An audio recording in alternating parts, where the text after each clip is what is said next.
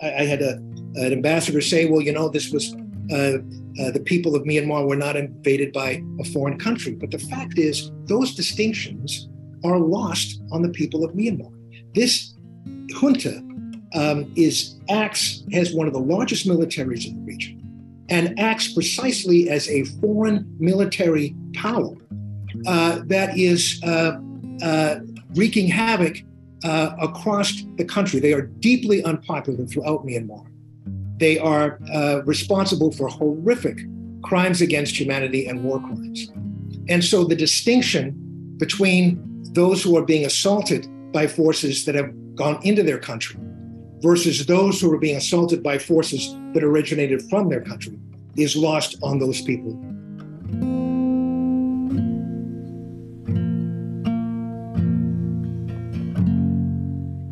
Good evening, everyone. I'm Mary Yntema, president of World Boston, and it is a pleasure to welcome you to tonight's program. As you may know, World Boston's mission is to foster engagement international in international affairs and global cooperation. So thank you very much for joining us tonight in doing this mission with us. Please do learn more about World Boston at worldboston.org. And if you can, support us financially. You can always donate at worldboston.org. So, very fortunately, uh, to discuss this complex and evolving topic, uh, we're very honored to host tonight's speaker, Tom Andrews, who is UN Special Rapporteur on the situation of human rights in Myanmar, uh, former congressman from Maine. Uh, Tom is the Robina Senior Human Rights Fellow at Yale University Law School.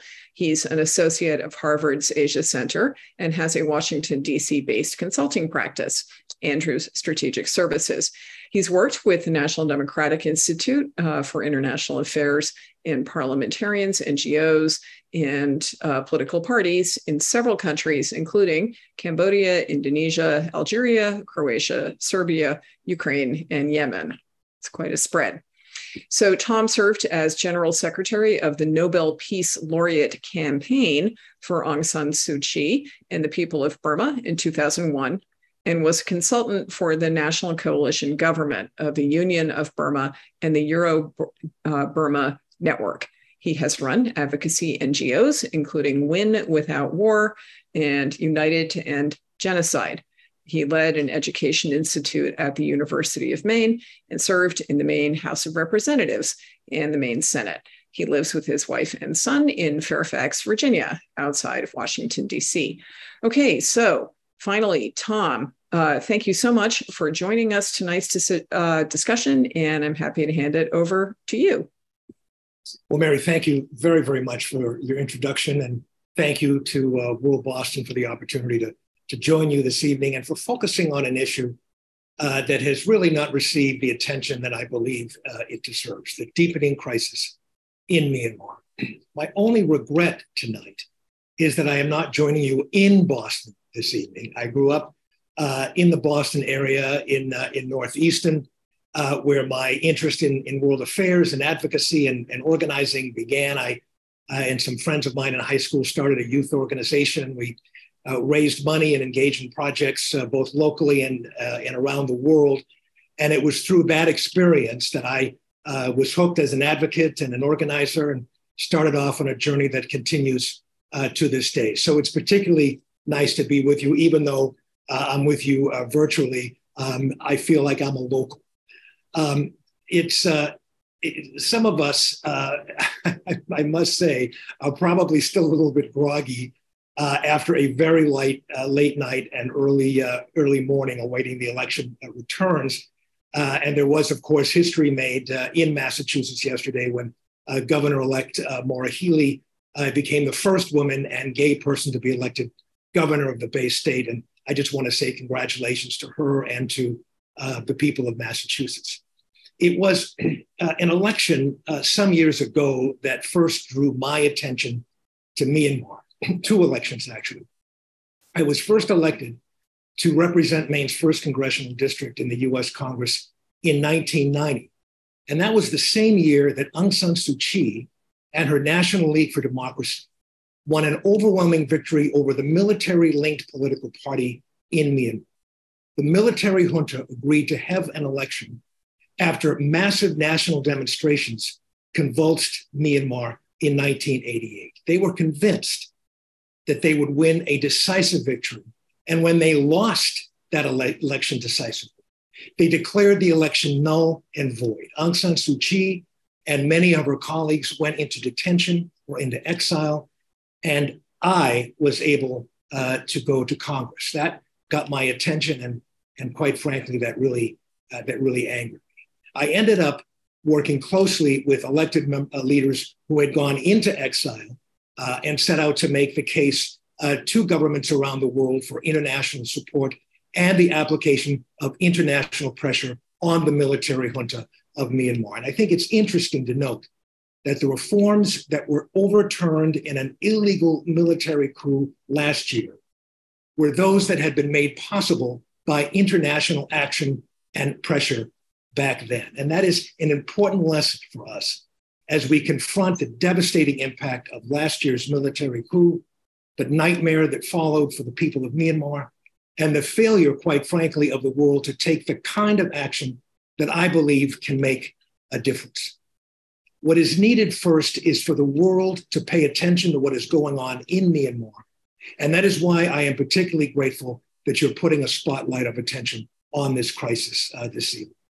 As I reported to the members, uh, member states of the United Nations Human Rights Council and General Assembly, conditions in Myanmar have gone from bad to worse to horrific since the military coup of February of last year. The junta has killed more than 2,300 civilians, arrested more than 16,000, and displaced more than 1 million people. They have attacked entire villages and burned more than 28,000 civilian homes to the ground. In July, they executed four political prisoners, including a former parliamentarian and a prominent pro democracy activist. 84 political prisoners remain on death row and are at risk of imminent execution. They have tortured untold numbers of detainees, including at least 142 children. At least 61 children have been held hostage by the junta as a means of compelling their parents who are in the opposition to give themselves up. 150,000 Rohingya remain confined in de facto internment camps in Rakhine State. Experts warn of a looming food crisis and a dramatic increase in child malnutrition. It has been projected that more than 30,000 Myanmar children will die preventable deaths this year because they did not have an, access to uh, and receive routine immunizations. Women are losing the economic and social gains that they tenaciously fought for over the last decade. Last week, I had the opportunity to meet with leaders of Myanmar's indigenous communities and environmental advocates from Myanmar on the eve of what is known as COP27, or the UN Conference on Climate Change that is underway right now uh, in Egypt. Myanmar is home to some of the largest areas of rainforest, mangroves, and the most biologically diverse ecosystems in Southeast Asia. It is from where 90% of the world's jade flows, rare earth minerals power smartphones, teak lines luxury ships.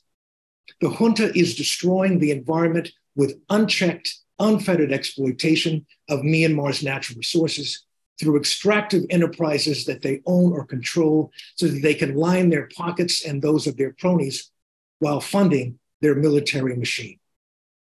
I am known as a special rapporteur, or in UN speak, I am the United Nations Special Rapporteur on the situation of human rights in Myanmar. Special rapporteurs are part of what is known as uh, special procedures of division of the United Nations. And the idea is to bring to the UN independent perspectives and expertise on important geopolitical issues and developments.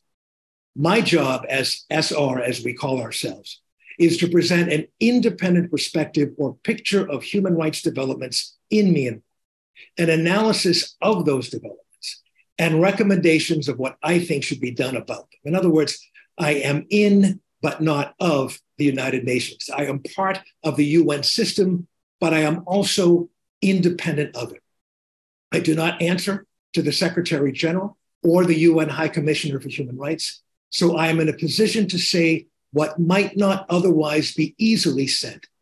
But I'm also required to communicate within certain parameters. I cannot, for example, criticize a government by name unless and until I notify that government about what I am about to say and provide them with an opportunity to prepare a response. Those are part of my ground rules, and those could impact perhaps the discussion that we'll have here in our, our program. I'll, I'll let you know. But that's those are the ground rules, or at least some of the ground rules uh, in which uh, I function as special rapporteur.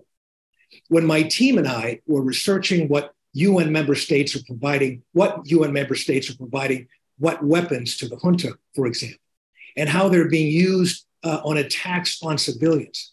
I provided each government my findings and exactly what I was about to say about them in my report. I categorized the arms transfers that each government had made or authorized based not only on the types of weapons transferred and what they were doing to the people of Myanmar, but also when they were delivered to the junta.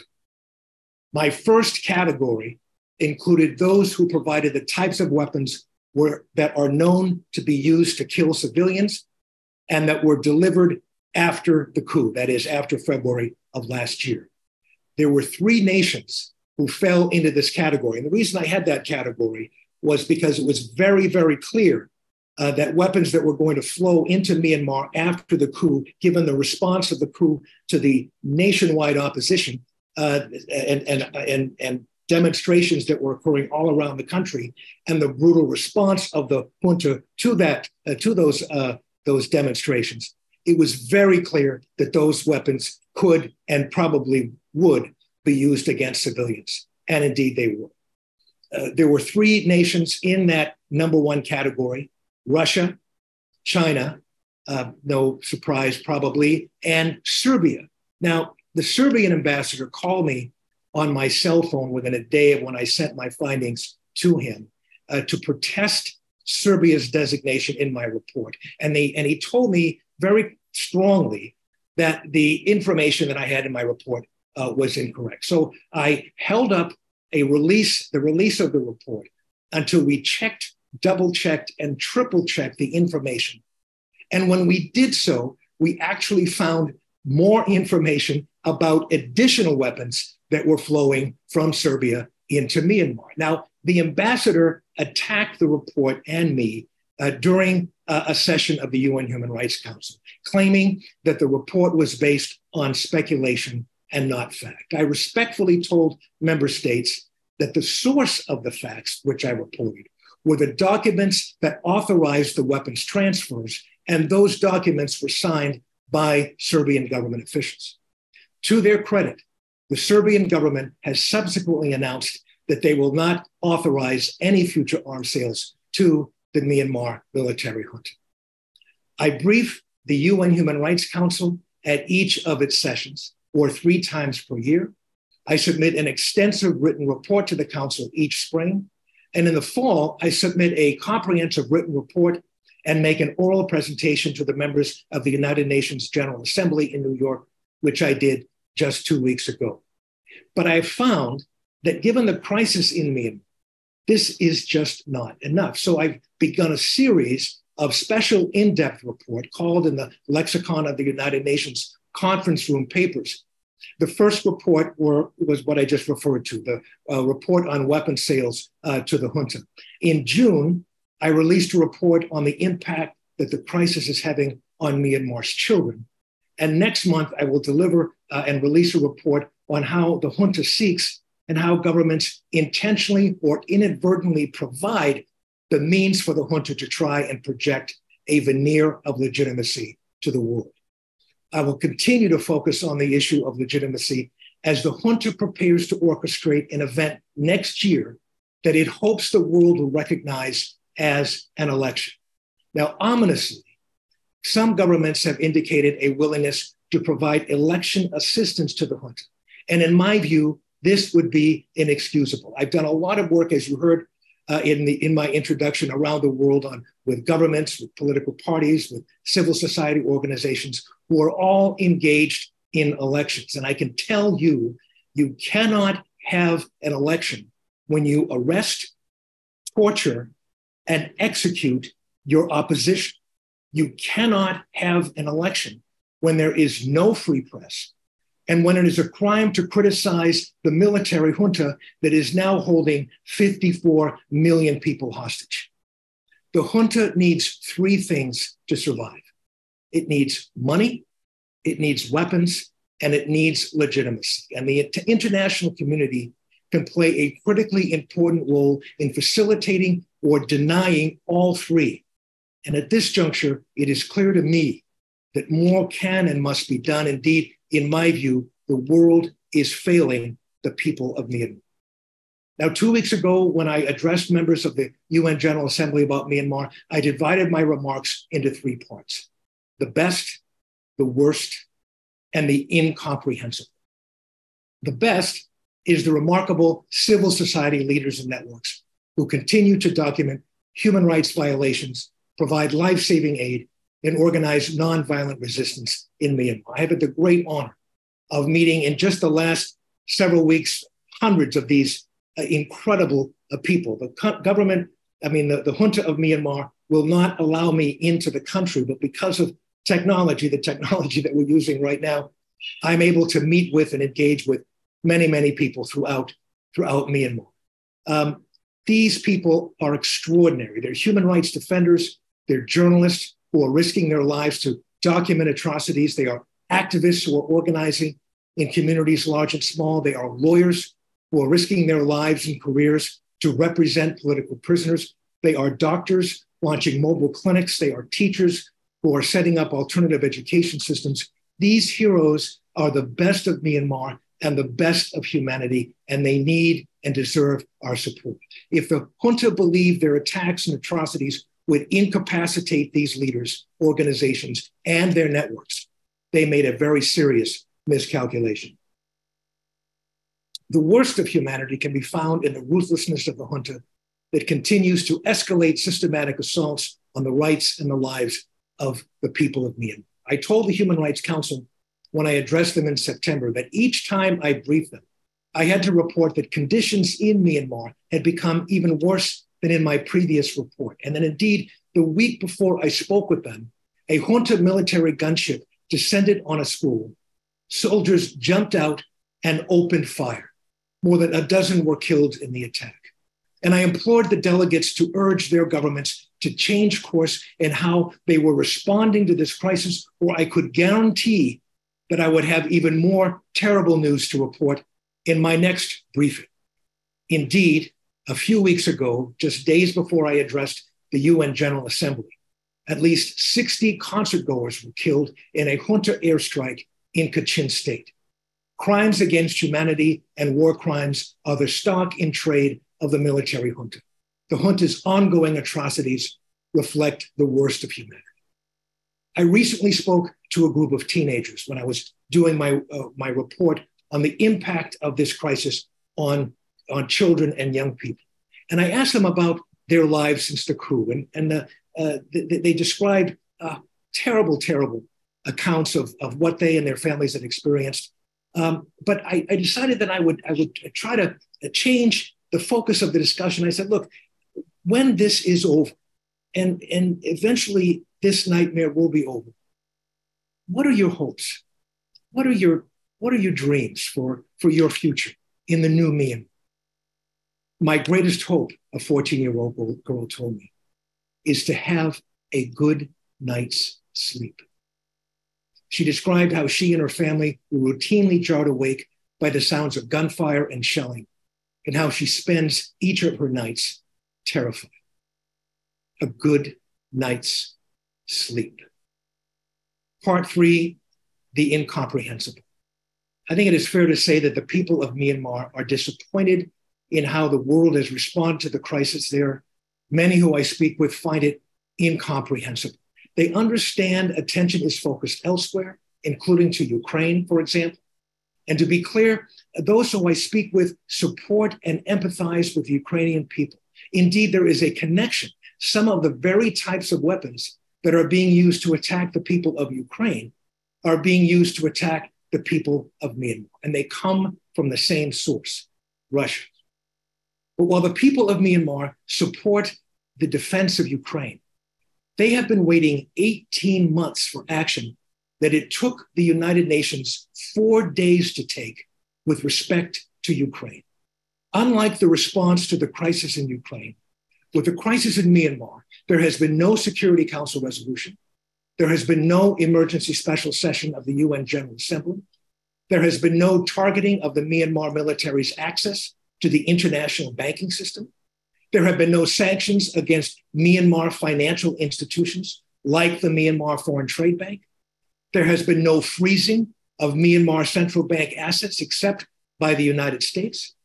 And there have been no mobilizing of a multi nation task force to identify, hunt down, and freeze assets of the military junta and its cronies, such as the task force that has been announced with respect to Russia. Meanwhile, as conditions worsen, some of Myanmar's neighbors are detaining or pushing those fleeing the junta's violence back into conflict areas. In the last few weeks, Malaysia has deported more than 100 Myanmar nationals, including some military defectors who are likely to be tortured and face the death penalty. This is outrageous and unacceptable and a violation of international. The fact remains for the pattern of horror in Myanmar to change, the pattern of the international response must change. Over the past year, I have recommended that a coalition of like minded nations launch a coordinated initiative to deprive the junta of the weapons, the finances, and the legitimacy that it needs to sustain its attacks, while also increasing humanitarian support to the people of Myanmar. This is because the uncoordinated, non strategic approach that is now being employed is both inadequate and costing untold numbers of lives. But still, no change in the status quo approach is underway, nor even under consideration. For the people of Myanmar, this is incomprehensible. What is sorely lacking is a strategic approach where action is targeted on, way, on where the junta is most vulnerable and where it can add up to have the greatest possible impact. Now, ideally, the UN Security Council would consider and pass a resolution that establishes targeted economic sanctions, an arms embargo, and a referral to the International Criminal Court so that those who are responsible for these crimes can be held fully accountable. But clearly, that is not going to happen because of the certainty of a veto. But this was precisely the case when it came to UN action following the invasion of Ukraine. In fact, coordinated action of nations who supported the people of Ukraine provides a template of what is possible. What is missing in the case of Myanmar is the political will to take such action, the political will for nations to organize themselves into a coalition where their actions are strategic, coordinated, and effective, where they add up to what will have the greatest impact. These actions can include providing a reasonable level of humanitarian aid to an increasingly desperate population. Only a fraction of what is required in Myanmar is being funded, including only 20% of the UN Emergency Response Fund for Myanmar. 20%. Let me conclude by saying what I told the member states of the United Nations General Assembly when I addressed them two weeks ago in New York. The time has come for the world to change course in its response to the crisis in Myanmar. We know what to do. What is required is the political will to do it. Thank you again so very much for the opportunity to join you, and at least virtually, and I'd be very happy to answer any questions that you might have. Thank you. So, thank, thank you so much, Tom. Um, I'm going to sort of exercise my uh, right of Zoom privilege and ask you a question, and then we do have some some questions ready to go uh, from the audience. So uh, uh, warning up front. I'm going to play devil's advocate a little bit here. Um, speaking of international response to uh, the invasion of Ukraine or the action in Ukraine, um, people could say, uh, first of all, that um, Ukraine is surrounded by many democratic countries um, and also countries that are acting potentially in their self-interest because uh, they might fear the same um, the same aggression ultimately. Um, those things probably aren't true with uh, Myanmar. So can we, the, and the U.S. actually has um, imposed sanctions, as, as I think you mentioned, on on Myanmar. Um, so can we? A, devil's advocate is asking, uh, can we actually expect ASEAN or um, other countries uh, like Russia and China um, and India to act? Uh, the the Great Decisions article, which I recommend to everybody, talks about a region of durable authoritarianism. So, uh, how likely is it?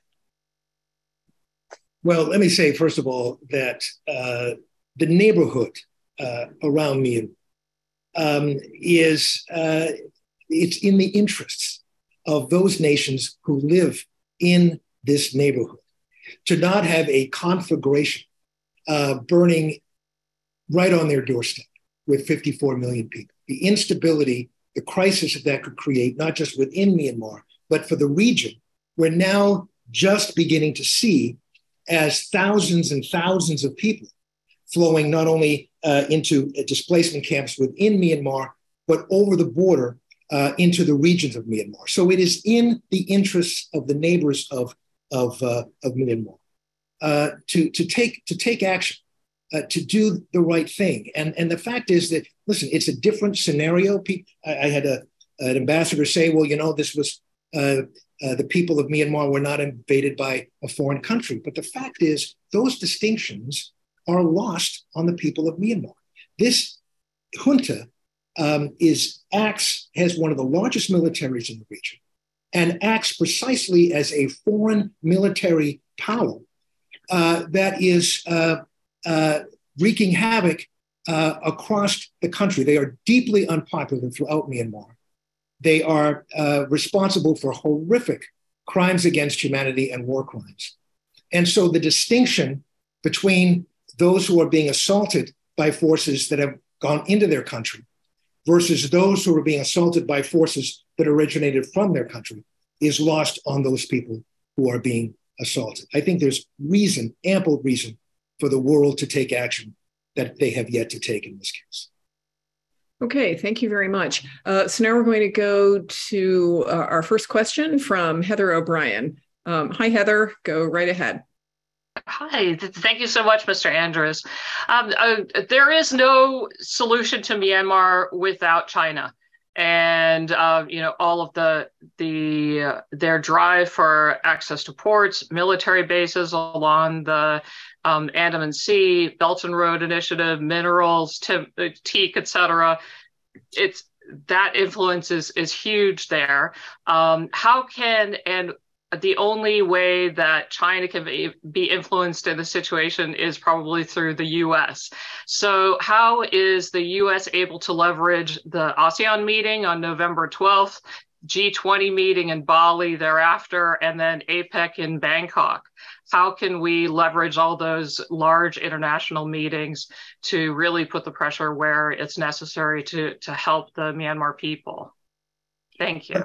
Well, that's a very good question. And again, I'm I, I get a function in the bounds of my of my restrictions with respect to criticizing any particular member member states. But listen, um, everyone has uh, an interest in addressing this crisis, and I can say that uh, that China uh, has uh, expressed uh, some deep concerns about what's what has developed in the country. They had a, a very uh, positive relationship with Aung San Suu Kyi and and many in the National League for Democracy and the former, the former government. Um, the current ambassador representing Myanmar uh, in the United Nations, in the General Assembly, um, is the very person who represented the government that the junta attacked, uh, and not the junta. They, they, he represents the democratic opposition. Um, but he nonetheless has that seat Now, the Credentials Committee is made up of China, the United States, and others. And, uh, and one of the, I think, uh, indications uh, that, uh, that, that, China wants to um, uh, see some progress is the fact that that Credentials Committee uh, has, is allowing this vigorous voice of opposition to be the voice for Myanmar in, in, in the General Assembly you're exactly right. We have some very important summits uh, that are coming up. Um, obviously, China plays an extremely important role in, uh, in the region and certainly with respect to this crisis. But um, both with respect to diplomacy internally and some of the steps that we've seen taken by China externally, um, I'm, I'm hopeful that we'll be able to see some progress. It's certainly in the interest of everyone for progress to be made. Great, thank you very much. Uh, we'll go uh, to our next question from uh, Ed Martins. Go right ahead, Ed. Um, thank you. Thank you for the talk today. I have a question. Uh, like in the situation in Ukraine, we have basically there's just two sides. What I said in Myanmar, there's a whole plethora of organizations fighting the, the government. Some of some of these ethnic militias there have been fighting them since the beginning of the that the foundation was then called Burma who do we back? Who's who should we be talking to, like on the opposition side there, to the junta? Well, uh, it's a good question, uh, Ed, and I'll tell you, uh, Myanmar is an extraordinarily diverse country made up of many, many uh, ethnic states, well over hundred uh, ethnic, ethnicities and ethnic states um, that have their own governments, their own, uh, in some cases, militaries, their own power structures, um, and they want, they've been seeking for many, many years now, um, a kind of federation within Myanmar that respects their sovereignty. Um, and so there has been a long history of tension and acrimony, not just with the military junta, but with the, gov- the, the, the, the government under Aung San Suu Kyi and the National League for Democracy.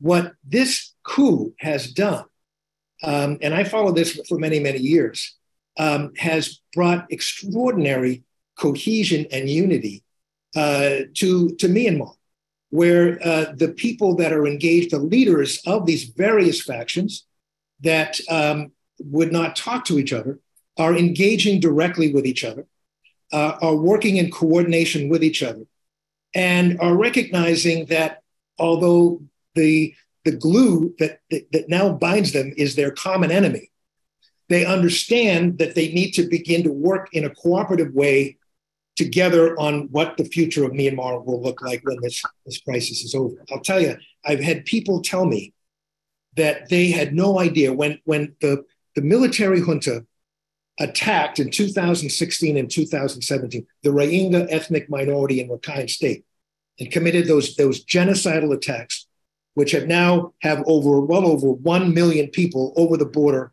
uh, into Bangladesh. They, they, they told me, frankly, we just didn't believe it. We didn't believe that the military junta was capable of doing such such things. Now we know that they are. Now we know that we were wrong, and we are uh, uh, willing to to open our eyes and accept and respect um, those ethnic minorities, including the Rohingya ethnic uh, ethnic minority that's been so oppressed for so many years. So um, there is a, a, great diversity. You're exactly right, Ed. They have, uh, for long periods of history, uh, been uh, uh not they've not not only not seen eye to eye, but they've been at each other's throats. But there is remarkable unity that I've seen in the country uh, about not only defeating this this junta, but building a new Myanmar. Great, thank you. Uh, we are going to go to another question, but um, I'm going to drop in with one of my own because we're about we were just touching on the edges of it. Um, I'm wondering we were chatting about this before we we came on the Zoom. I'm wondering if you could say a couple of words for the you know general audience, of which I am one, um, about the figure of Aung San uh, Suu Kyi. Um, uh, you advocated, I didn't know this before, for her Nobel Prize, uh, which she was awarded in 1991. Uh, how uh, oh, and and you may also uh, personally be constrained in what you can say. Um, but how do you believe that the world is viewing her, and how do you believe that she's viewed uh, within Myanmar? What's what's your impression? Well, she is a a remarkable um, figure in Myanmar history. Her father was a great hero uh, in uh, that, that, helped to bring about uh, independence for Myanmar, um, and uh, she has has just enormous uh, throughout her uh, career, which really began after the 1988 uprising. Um, her career as a political leader has generated a very strong uh, following uh, within, at least within many parts of, uh, of Myanmar. Um, she, as I, as I mentioned, she ran in 1990 with the National League for Democracy. They won the election. The election was not recognized. She went first into detention and then under house arrest for many, many years. Um, we, we then saw that uh, through international pressure, um, a reform occurred in 2008 and elections were held in 2010. And then finally, she was allowed to run in 2015, in which she won a, a very overwhelming victory with her National League democracy and actually took a kind of power. And I say kind of power because the military junta maintained um, much of the power in the country. They can, they can control all the military, they control the borders, they uh, control many of the extractive industries that make them very, very, very wealthy. So they, they had a, a stranglehold over the power, conceding in a deal that would try to provide them with the kind of legitimacy that would lift the sanctions that were being imposed by the world, the kind of reforms that they that they had agreed to that allowed Aung San Suu Kyi and the NLD to have a portion of power in, in, in, in the government just to put it, uh, a fine point on it, just to put in perspective, the parliament of, of Myanmar at the time, that 25% of the seats in the parliament were not elected. They were appointed by the military junta, so that they were guaranteed seats by the military. So it was not a, a, a real democracy. It was a quasi democracy. And the idea that was argued by Aung San Suu Kyi and the NLD, the glass is, the glass is half full, work with us, support us, so that it could be uh, even, even, even, even more so. We know that when the genocidal attacks occurred in 2016 and 2017, uh, there was uh, an accounting uh, that was brought forward. Uh, there was a charge of, of, of genocide uh, that was brought forward by the, the Gambia, calling those attacks genocidal attacks um, and, and, and asking uh, for the for the court, the, the international court, to to rule that it was indeed a genocide. And what surprised many in the world uh, who had not been following things too closely was the fact that Aung San Suu Kyi herself came uh, to the court um, and argued uh, in defense of Myanmar, um, and and argued that the that the uh, the, the, jurisprudence, uh, the, the system of justice within the military was more than adequate to provide justice for any problems that might have occurred in those attacks in Rakhine, Rakhine State. That uh, was uh, one example of, a, of, a, of an action that um, uh, cost Aung San Suu Kyi support from, from many uh, around the world, contradicted in their view the fact that she was a Nobel uh, laureate, um, and created a kind of mixed picture, mixed view of her in the international community. The fact of the matter is, on the first day of the coup, February 1st of last year, uh, Aung San Suu Kyi uh, was arrested. Uh, she was put into detention. Um, we don't know where she is. We don't know what her condition is. Um, and she, along with the president of the country and thousands and thousands of others, um, remain in detention by this by this military. Great. Thank you very much. Okay, now we're going to go to uh, Nazd. I hope I'm pronouncing your name uh, correctly. Nazd Alam, go right ahead. Hi. Hi, uh. Uh, yeah, my name is Nazd Alam, and I am actually native of Bangladesh. So I, I am happy to hear very academic presentation you know about myanmar and um, global issue but my question will be very basic question how we can help the people on the ground. And the basic question is uh, uh, 2018 and 2019, I personally went to the Myanmar uh, Bangladeshi camp and spent there two months in 2018 and 2019. And I created a documentary, produced a documentary that Rohingya, the women atrocity against women. My point is that India, China, or the neighboring country are not focusing anything. Bangladesh is an overpopulated, newly independent country. And then over over million refugee. I am just surprised that the neighbor country or the UN are not taking enough step to, and I will focus only for the women's side. My documentary is I interviewed 12 women who were raped. And they were so brave to give me interview. And I have that documentary. So my point is few things that how the women and also it is important to mention that these women are Muslim women. And is that something with the culture, religion, because the international community are not focusing mm. enough because their ethnicity, religious background. Because and of their I, background. Okay, good. Um, sorry.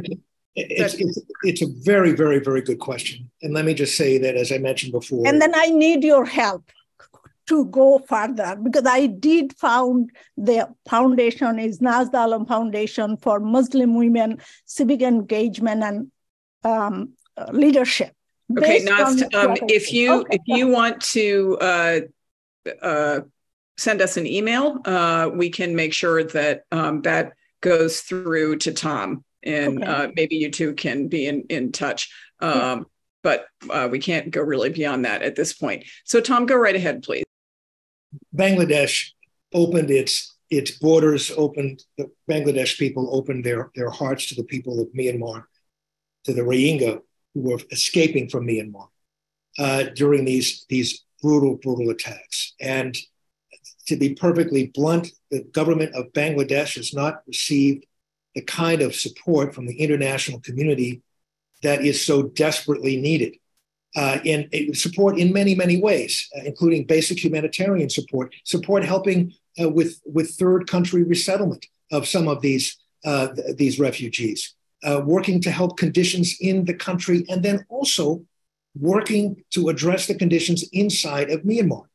There are over 600,000 Rohingya remaining in Myanmar right now in Rakhine State. They are living in great fear and in great danger. 150,000 are living in internment camps that are in just horrific conditions. Now, I visited the camps in Bangladesh. I visited these internment camps when I was allowed, still allowed to get into Myanmar. And just to give it some perspective here. There was a, a, a, man who I was speaking with at one of these camps uh, who'd been there for, for years. They, they, the camps have been there now. They were supposed to be temporary camps. They've been there for 10 years. They started in 2012. He said to me that if your country, the United States, I was doing some research for the Congress, if your country will not help us in these horrific conditions, and it was just clear what these conditions were, he said, please bomb us. Bomb these camps because it would be better to die than to continue to live in these conditions. So I've been to those camps. I've been to Cox's Bazar in Bangladesh to see the conditions in the camps right now in Bangladesh. I've been to Bhashan Char Island, where a number of people uh, have, have been taken. Um, and I can tell you, um, there is great need and great injustice that have, has not been addressed with respect to the Rohingya people. And it's incredibly important that the world address this crisis in a way that it has yet to, to, to address it. So it's a very good question, and I, and I thank you.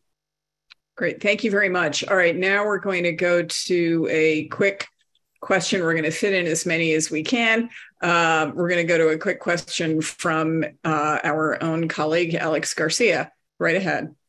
Yes, thank you, Mary, and thank you, Tom, for being here. Um, my question is regarding specifically what's happening this week with the ASEAN uh, summit that is going to be taking place over the next couple of days, and what your expectations were, um, or rather, uh, expectations and hopes for the result for um, this ASEAN summit, considering that there was the emergency summit date uh, that did take place uh, over two weeks ago, and how that progress may um, shape into this conference. Thank you. Great, thanks a lot. Uh, Alex, that's a very good question, and again, I'm going to have to strain my uh, uh, the, the, parameters of which I'm I'm functioning here. And let me say this, you know, as I said in the, the outset, um, the ASEAN countries have a great deal at stake here. This this impacts them more than than most. Um, they uh, established what they call a five point consensus. There was a meeting in April of t- uh, last year after the coup to build a consensus among member states. Um, uh, the head of the junta, was there. He agreed to the consensus. The first point of the five point consensus was to stop the violence. And he, no sooner was the ink not even dry on that document, but he returned to Myanmar and he said, Well, those were really suggestions. And uh, I might get to them when stability is restored by my military uh, in, in Myanmar. So he never took it seriously. The, the ASEAN has continued to hold out hope that somehow this five point consensus can get gain some, some traction. And what frankly gives me some encouragement is that uh, voices within Myanmar, within, within some of the leading nations of ASEAN, I'm sorry, not within Myanmar, within ASEAN, including Malaysia, um, has become critical and be, of this five point consensus and this approach, saying that it's, it's really not going anywhere and that what is required is a recalibration, a rethinking, and that, that a, an actual strategy behind an action plan with firm deadlines be established by ASEAN with respect to this, to this crisis. Um, so I was encouraged that there are voices that are being articulated publicly. I'm hopeful that that reflects voices that are in discussion as we speak privately uh, within ASEAN and and hopefully something is going to uh, is going to emerge. What I think is unfortunate are those countries who um, say that they will not act unless ASEAN acts, because ASEAN is where uh, the lead should come from, and and uh, clearly. Uh, ASEAN has a lot at stake here. Clearly, we need to be listening to ASEAN leaders, as, as I think many do. But we should not become immobilized because any nation or group of nations is unable or unwilling to act in the midst of this crisis that we have in front of us. So I'm hopeful that we'll see some, some progress uh, in the not too distant future from ASEAN. But it was good, good question, Alex. Great. Okay, so now we're going to go to uh, Sanjay, our own World Boston board member. Sanjay Agarwal, go right ahead. Thank you, Mary. Uh, Tom, this is fascinating discussion. So uh, I guess my maybe a two-part question. One is, what is the issue? Like everything you say makes sense. Yes, we should be acting on it. U.S. and other countries and ASEAN and everybody else. We all seem to know the issue, and it's urgent as you said, is it a capacity issue, you think, because of everything that's going on in other parts of the world? It's Afghanistan, Ethiopia, it's other things. Is that what's stopping everybody from acting? And the second part being, is there a role for others other than governments? Is it business groups that should be doing something? What is the role of other parties who will be affected by who are affected now and will be affected hopefully positively if this thing all resolves?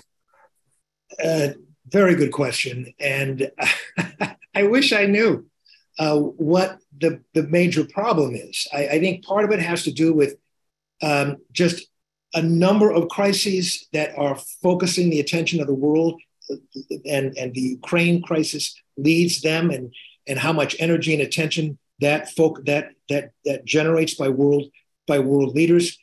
The, the difficulty of this of this issue, there's no question that this, this is not going to be a, um, an easy thing to move forward.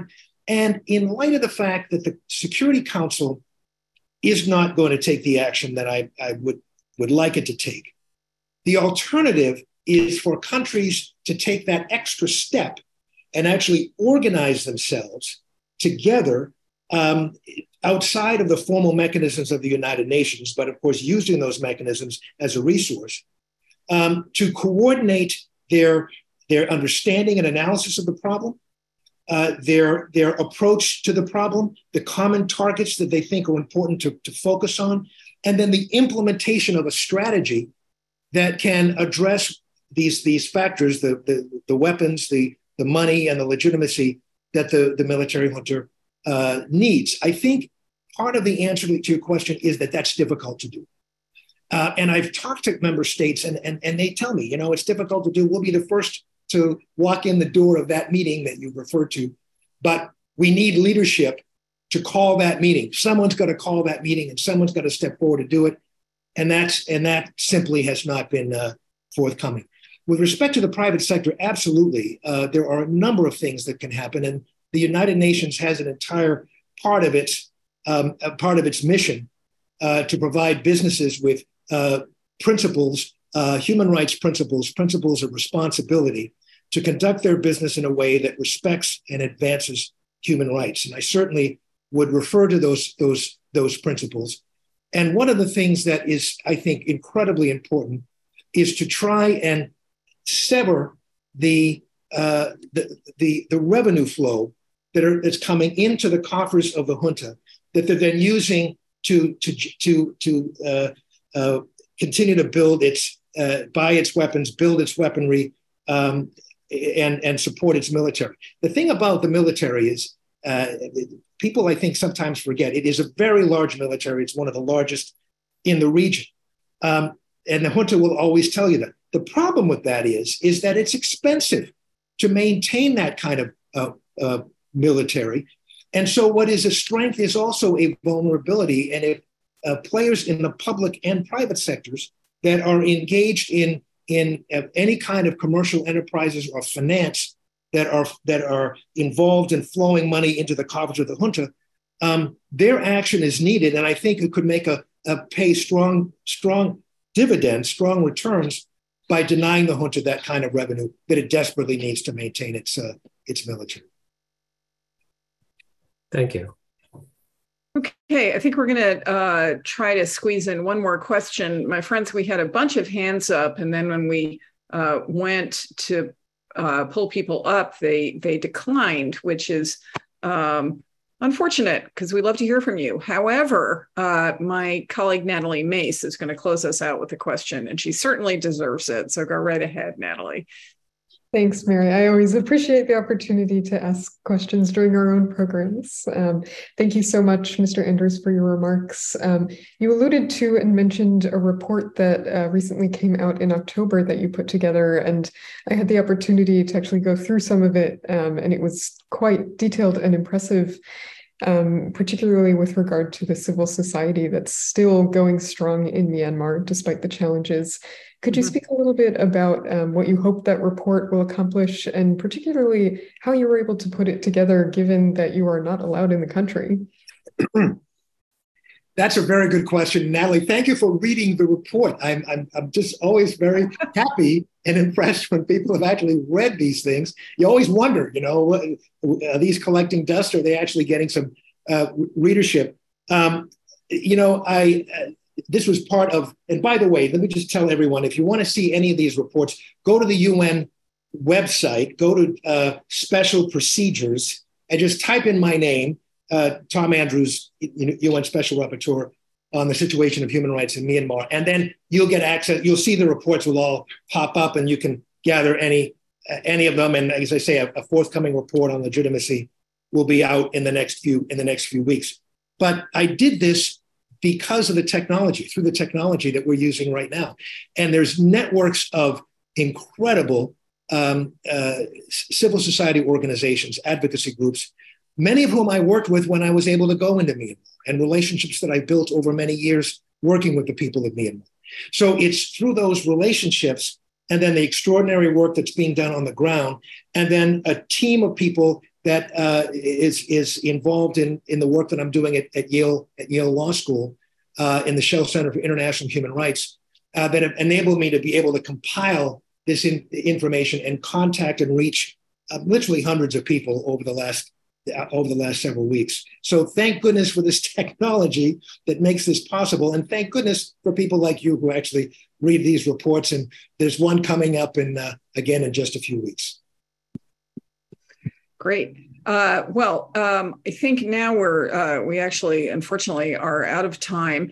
And uh, now um, I really want to thank uh, Tom Andrews for just an except, exceptionally informative um, session and um, also all of you participants for exceptionally uh, informed questions. Um, so thanks a lot, Tom. Thank you. Uh, thanks, World Boston, and uh, we'll see you all again soon. Have a great night.